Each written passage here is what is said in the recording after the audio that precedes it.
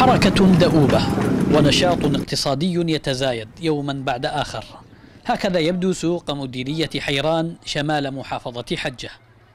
في ظل حصار الميليشيا المفروض على المناطق المحررة ومنع الأهالي من التنقل إلى أسواق حيران وعاهم يصبح توفير المواد الغذائية الأساسية إنجازا كبيرا وخطوة تخفف من حدة الحصار.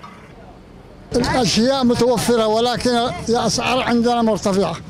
الأسعار عندنا مرتفعة في الخضروات يعني خاصة وتقطع أحيانا أحيانا تقطع عندنا.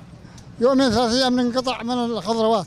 إحنا مقطوعين من جهة عبس يعني حاصرنا الميليشيات الحوثية. لا خروج ولا دخول.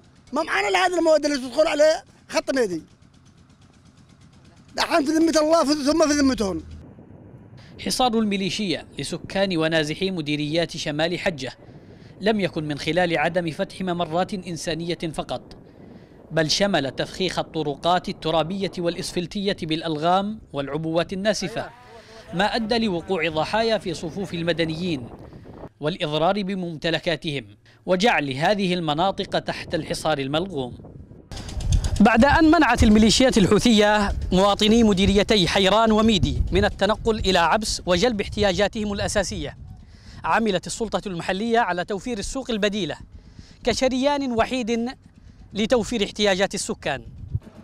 هذه الشاحنات الكبيرة تدخل يوميا من أسواق المملكة العربية السعودية محملة بالمواد الغذائية والبضائع والمشتقات النفطية عن طريق تجار يمنيين سمحت لهم سلطات المملكة باستيراد البضائع إلى المناطق المحررة بالتنسيق مع السلطة المحلية بمحافظة حجة. وذلك لإنقاذ ثلاثين ألفا من الأهالي والنازحين.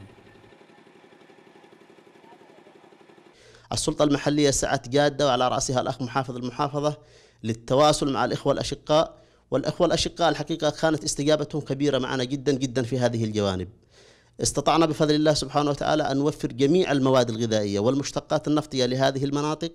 حصار الميليشيا بحق هذه المناطق يضاف إلى سجل الميليشيا اللا إنساني. ما يحتم على المنظمات الإغاثية والإنسانية المحلية منها والدولية بالضغط على الميليشيا وتحميلها مسؤولية المعاناة التي يواجهها السكان والنازحون.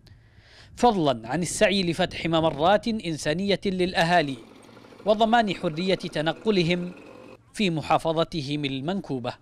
سليم المخلافي حيران.